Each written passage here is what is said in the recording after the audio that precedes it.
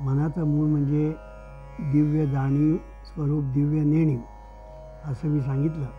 आणि ही दिव्य जाणीव स्वरूप दिव्य नेणीव जेव्हा उपाधी धारण करण्यासाठी स्फुरते आणि अनंत रूपे अनंत वेशे प्रगट होते तेव्हा ही उपाधी धारण करण्याच्या प्रक्रियेमध्ये प्रोसेसमध्ये त्या दिव्य जाणीवेला आपल्या स्वरूपाचा विसर पडतो.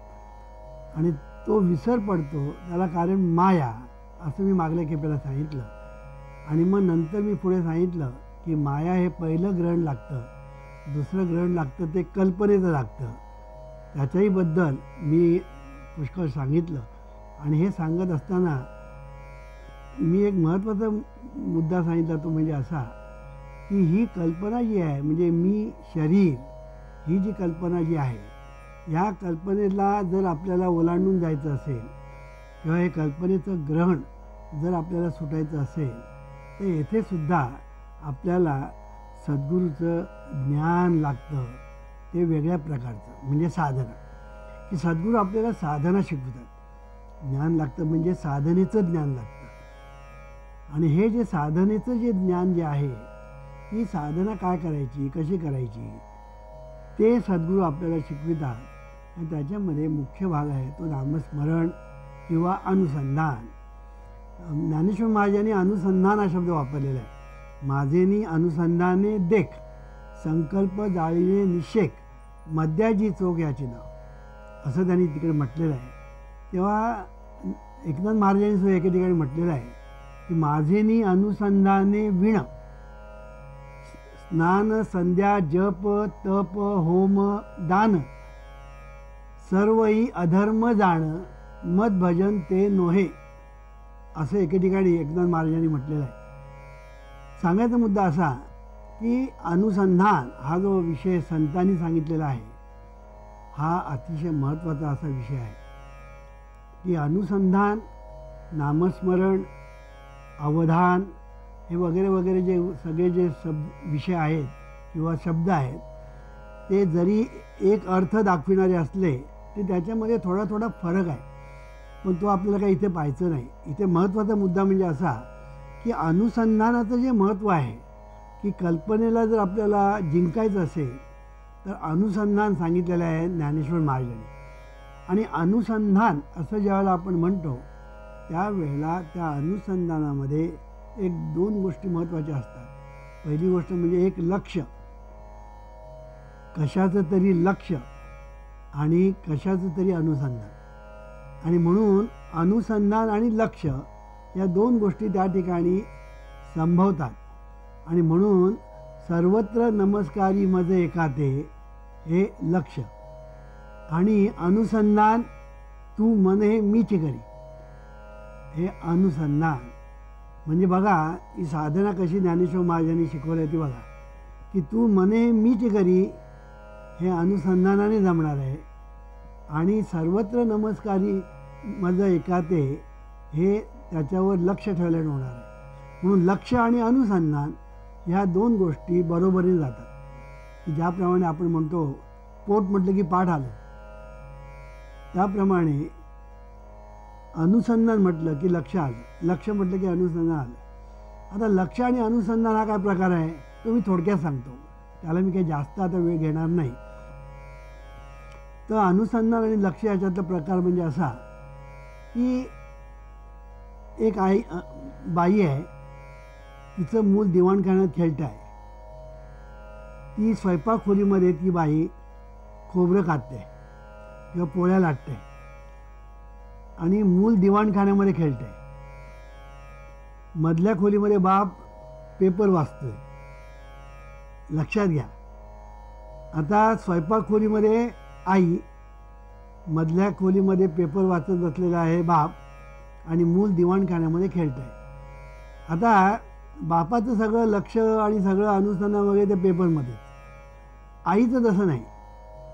आईचं लक्ष खोबरं कातण्यावर पोळ्या लाटण्यावर लक्ष आहे. पण अनुसंधान दिवाणखान्यामध्ये जे आपलं मूल खेळत आहे तिथे तिचं अनुसंधान आहे. आता गंमत अशी होते की मूल जोपर्यंत खेळत आहे तोपर्यंत आई तिकडे जास्त लक्ष देत नाही. लक्ष सगळं तिचं पोळ्या लाटणं आणि ह्याच्यामध्ये असतं. पण ज्या वेळेला ते लेकरू रडायला लागतं कॅ करतं तेव्हा क्या केल्याबरोबर आई आपल्या हातातलं काम टाकते आणि दिवाणखान्याकडे धाव घेते. कारण तिचं अनुसंधान असतं. आता तिथे बाप मधल्या खोलीत बसलेला आहे. म्हणजे तो त्या मुलाच्या जवळच्या खोलीमध्ये आहे दिवाणखान्याच्या. तरीसुद्धा बाप आपला पेपर वाचायचं सोडत नाही. पेपरातलं लक्ष त्याचं उडत नाही. आणि मूल रडतं आहे हे सुद्धा ध्यानात येत नाही. पण हे आईच्या ध्यानात येतं. आईच्या ध्यानात कारण का? आईचं अनुसंधान त्या लेकराकडे असतं. आणि लक्ष आपल्या कामावर असतं. हे अनुसंधान आणि लक्ष हे जे आहे ना हे फार महत्त्वाची गोष्ट आहे. की ज्ञानेश्वर महाराजांनी नेमकं आपल्याला हेच सांगितलेलं आहे की तू मने हे मीच करी अनुसंधान. की सतत तू माझ्या अनुसंधानात शेवटी सुद्धा हेच सांगितलं आहे भगवंतानी मा मनुस्मर युद्धाचं. मा मनुस्मर युद्धाच्या की तू माझ्या स्मरणात युद्ध कर. ह्याचा अर्थ असा की युद्ध करण्याच्या ठिकाणी तुझं लक्ष पाहिजे. आणि अनुसंधान माझ्याकडे पाहिजे म्हणजे परमेश्वराकडे पाहिजे. हा जो एक भाग आहे हा फार महत्त्वाचा भाग असा आहे की ही जी गोष्ट जी आहे आपल्या जीवनामध्ये सतत आपण करतच असतो. उदाहरण जर द्यायचं झालं आपण ऑफिसला जातो. आता ऑफिसला आपण गेल्यानंतर ऑफिसमध्ये आपण काम करतो सगळं काही करतो.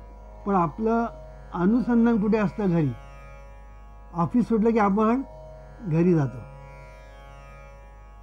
किंवा दुसरं एक उदाहरण द्यायचं झालं रेसला जाणारे लोक असतात. रेसला जाणारे. त्यांना तो घोडा म्हणजे त्यांच्या डोक्यात बसलेला असतो. रेसचा घोडा.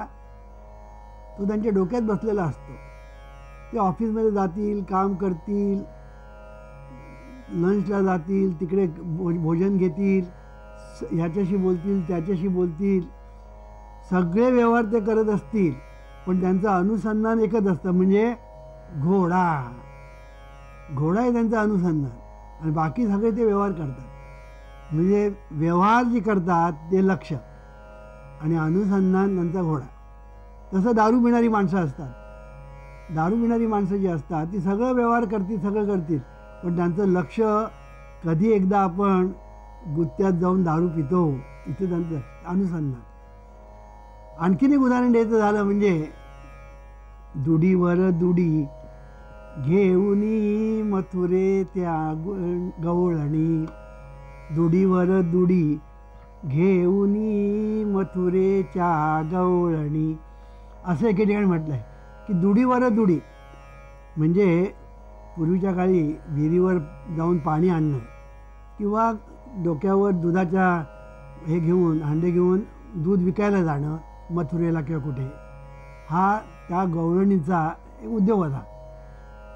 तर पाणी आणणं म्हणा किंवा ते दूध आणणं म्हणा दूध नेणं म्हणा त्यांना एक घागर कमरेत एक घागर डोक्यावर त्याच्यावर दुसरी घागर त्याच्यावर तिसरी घागर आणि हे एक हा त्यांचा रिकामा असतो.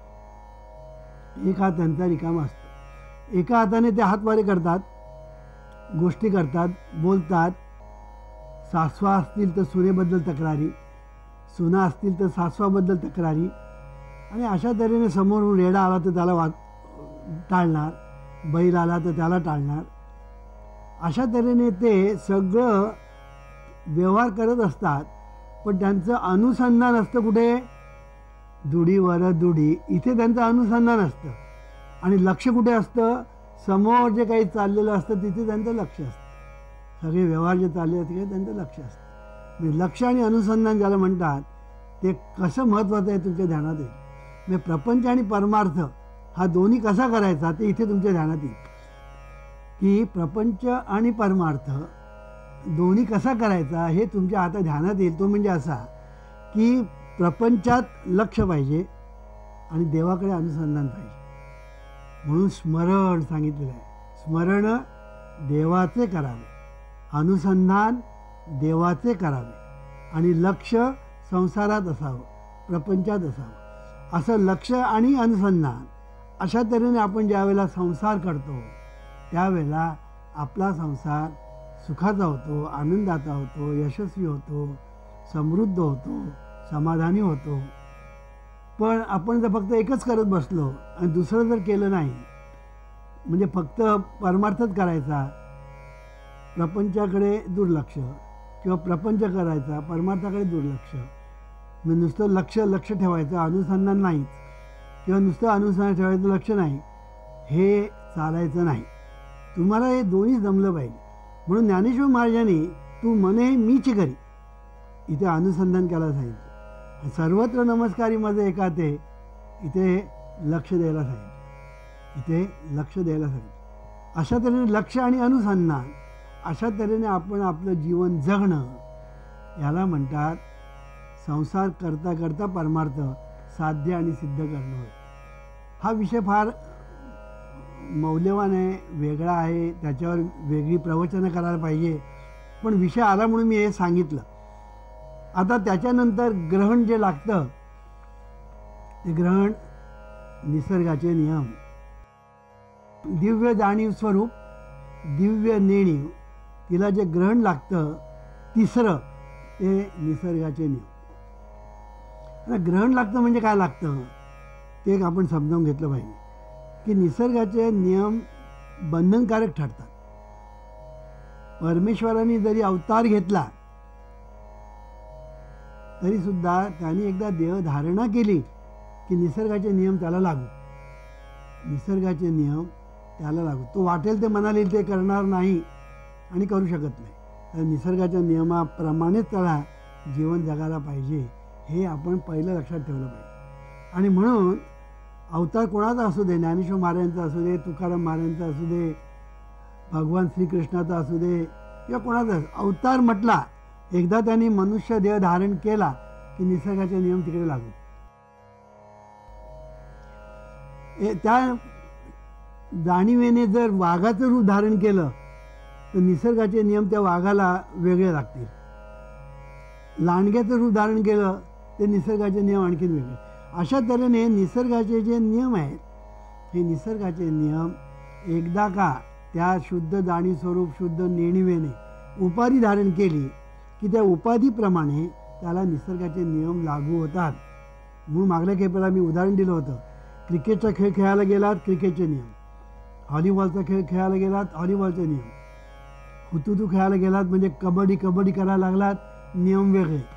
अशा तऱ्हेने खेळ जसे वेगवेगळे असतात तर आणि नियम वेगवेगळे असतात तसं माणसं पशु पक्षी जलचर वनस्पती किडे मुंगे असे जे निन्या तऱ्हेचे जे प्राणी आहेत ह्या प्राण्यांना निसर्गाचे जे नियम आहेत ते निरनिळ्या प्रकाराने लागू होतात.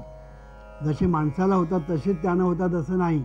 तर निसर्गाचे नियम निरनिळ्याप्रमाणे लागू होतात. आता आपल्याला सर्व काही माहिती नाही. किंवा निसर्गाचे नियम वाघाला कुठले लागू होतात सिंहाला कुठले ते आपल्याला माहिती नाही आपल्याला त्याची गरज पण नाही.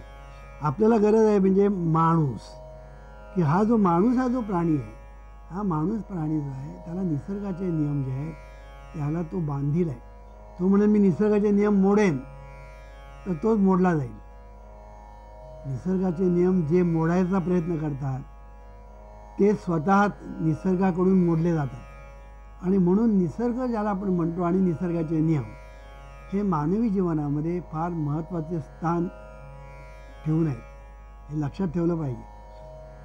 आपला समज असा आहे की परमेश्वर कृपा करतो कोप करतो तो दयाळू आहे आणि तो कधीकधी तो निष्ठूर होतो वगैरे वगैरे असं काहीही नाही. परमेश्वर दयाळू नाही तो निष्ठूर नाही. तो कृपा करत नाही तो कोणावर कोप करत नाही. हे पहिलं लक्षात ठेवलं पाहिजे. हे सगळं जे चालतं ते निसर्ग नियमाप्रमाणे. सगळं जे चालतं ते निसर्ग नियमाप्रमाणे. आणि म्हणून आपलं सगळं जीवन जे आहे हे जीवन निसर्गाच्या नियमाप्रमाणे चालतं. चालते हे शब्दात लक्षात ठेवा. चाले शरीर कोणाची आहे सत्य कोण बोलविते? हरिविण.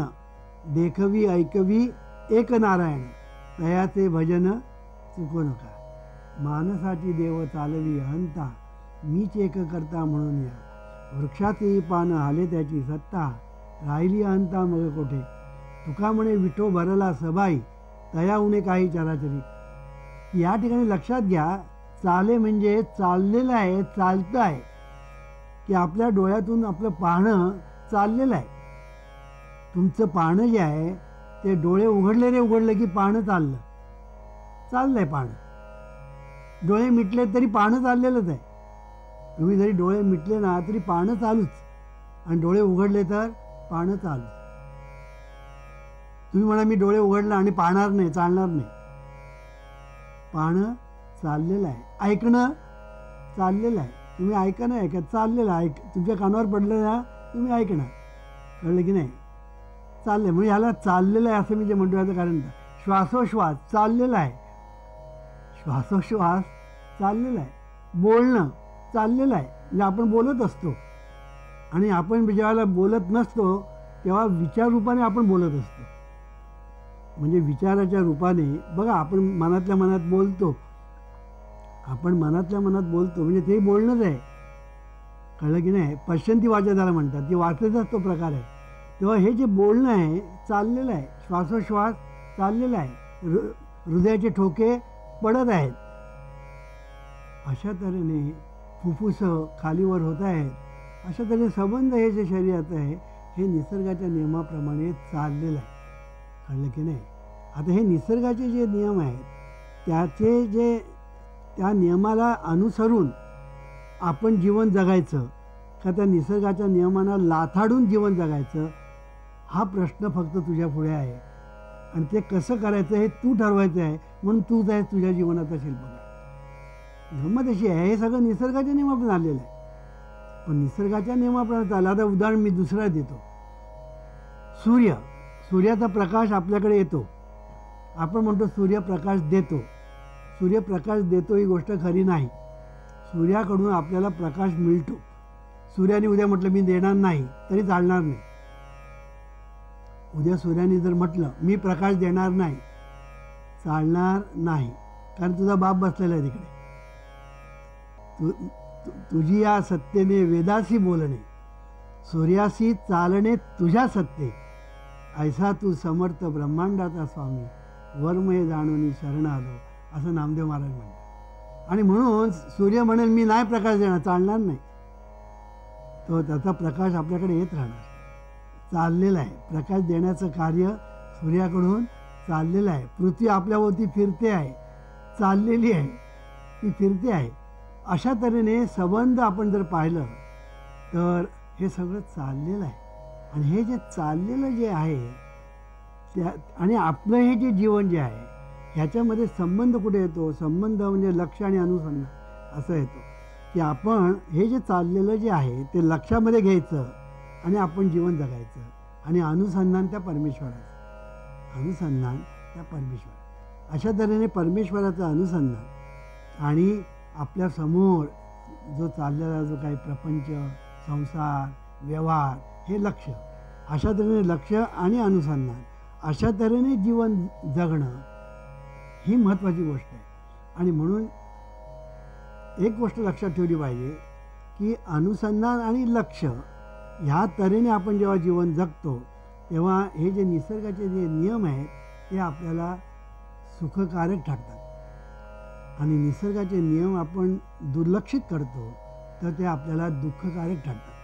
आणि म्हणून निसर्गाच्या नियमाशी सुसंगत जीवन जगायला शिकलं पाहिजे. म्हणून निसर्गाचे नियम किती आहेत? अनेक आहेत. आपल्याला किती माहिती आहे? थोडे माहिती आहे. निसर्गाचे नियम अनेक आहेत. मी एकदा मी सांगितलं होतं इन्फिनिट एक आणि दोन नाही इन्फिनिट आहेत. त्यापैकी आपल्याला जे माहिती आहेत ते थोडेच माहिती आहेत. आणि जे थोडे आपल्याला जे माहिती आहेत त्याच्या बळावर आपलं सायन्स निर्माण झालेलं आहे. विज्ञान निर्माण झालेलं आहे त्या थोड्या निसर्गाच्या नियमावर. आणि म्हणून चंद्रावर आपण गेलो. का गेलो? की निसर्गाचे नियम लक्षात घेतले. पृथ्वी आपल्याभोवती फिरते आहे ती सूर्याभोवती फिरते आहे. अशा तऱ्हेने ते आपण ते सगळं गणित बिणित केलं. आणि हे निसर्गाच्या नियमाप्रमाणे आपण सगळी गणितं केल्यानंतर मग आपण चंद्रावर जाऊ शकलो. हे आपण जर पाहिलं तर आपल्या ध्यानात येईल की निसर्ग नियम जे आहेत ते आपल्याला बंधनकारक आहेत. ते आपल्याला बंधनकारक आहेत. तुम्ही मी ते आम्हाला नाही चालणार चालणार नाही. आणि तो कोणी जे असो राजा असो नाही तर प्रजा असो रंक असो किंवा राव असो निसर्गाचे नियम सर्वांना सारखे लागू. निसर्गाचे नियम सर्वांना सारखे लागू. तिथे एक्सेप्शन नाही अपवाद नाही हे लक्षात ठेवायचं. आणि मग पुढलं आता जे आहे ते म्हणजे संस्कृती. ही जी संस्कृती ज्याला आपण म्हणतो ही संस्कृतीतून संस्कार येतात. आणि संस्कारातून विचार येतात. आणि विचारातून उच्चार आचार होतात. हे सगळं आपण जर पाहिलं तर संस्कृती नामक गोष्ट जी आहे ती किती महत्त्वाची आहे ते ध्यानात येईल. आज आपल्या ह्या जीवनाला जे ग्रहण लागलेलं आहे ना ते संस्कृतीचं लागलेलं आहे. हे चौथं ग्रहण आणि हे ग्रहण आपल्याला सोडवता आलं पाहिजे. हे कसं सोडवायचं? तर त्याच्यासाठी ही जी संस्कृती म्हणजे काय आणि ती आपल्या जीवनामध्ये नेमकं काय करून राहिलेली आहे ते आपल्याला पाहिलं पाहिजे. कारण हा एक फार मोठा असा विषय आहे की त्या ठिकाणी दुर्लक्ष झालेलं आहे. आज मानवजातीचं फार मोठं दुर्लक्ष जर कुठे झालेलं असेल ना तर या संस्कृतीच्या ठिकाणी. आणि म्हणून ही जी संस्कृती जी आहे ती काय आहे? संस्कार त्याच्यातून कसे येतात आणि आपल्या जीवनाला आकार कसे देतात हा सगळा विषय आपण पुढल्या खेपेस पाहू. ओ शांती शांती शांती. ओम शांती शांती शांती. ओम शांती. शान्तिः शान्तिः।